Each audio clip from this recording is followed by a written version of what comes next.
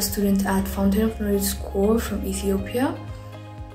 I'm so lucky to be a part of innovation and entrepreneurship program organized by NextGen Innov8 with Harvard student agencies.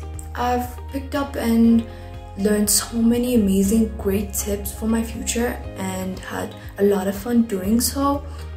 I feel like it's one of my best experiences I've had yet and will forever be grateful for it.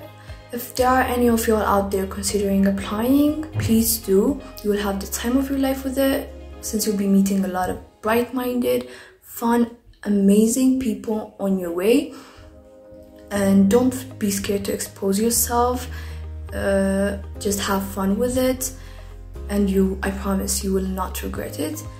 So, thank you everyone that has been involved in this program for being such a delight to work with, and it was a blissful experience to work with you all. And thank you.